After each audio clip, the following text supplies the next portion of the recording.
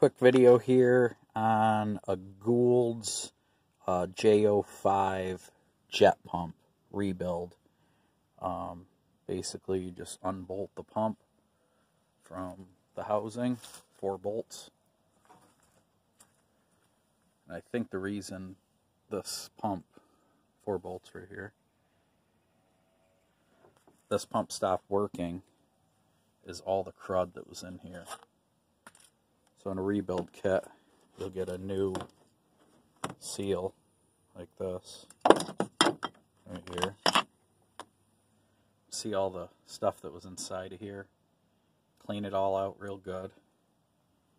Then you need to take your bolts off here. I already got everything loose. So I can show you quick how it comes off. There's the cover to the impeller.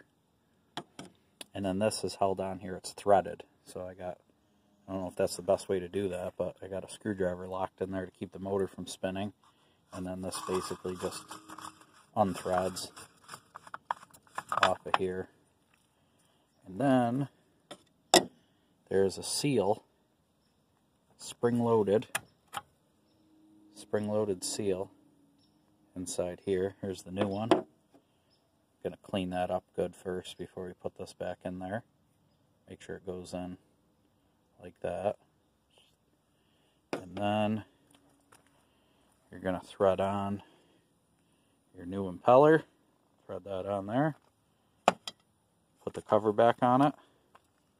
And make sure on these there's a this side's up right there. That goes facing up towards the top, just like this. And then you'll put that all back together after it's all cleaned up. And I'll let you know. Hopefully it uh, gets the pump working again.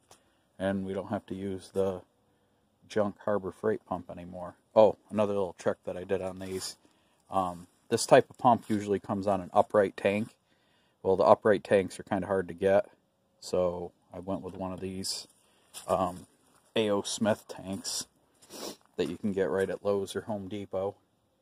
Um, but there's a fitting that goes from the pump to used to go to the old tank. Well, it's fine thread, so it's not an NPT. And to be able to get something to thread into it, I had to sweat uh, copper fitting into this piece of brass. Basically used just a three-quarter inch um, copper uh, bushing. I think I had to sand it a little bit, and then it fit right up in there. Um, not the best at sweating, as you can see, but it, it held water, because I already had this pump in, but it was only making um, about 15 to 20 psi, and it should have went up to about 50. Um, I think it's mainly because of all this crud that was inside of it, but while it's open. We're going to rebuild it, so hope this video helps you out a little bit. These Goulds are definitely the way to go. Um, any of these Chinese pumps, Home Depot pumps, they're all junk. These things are the best. This pump's lasted uh, almost 30 years, and after this rebuild, I'll probably get another 30 years out of it. Thanks. Hit like and subscribe if you like my videos. Appreciate it.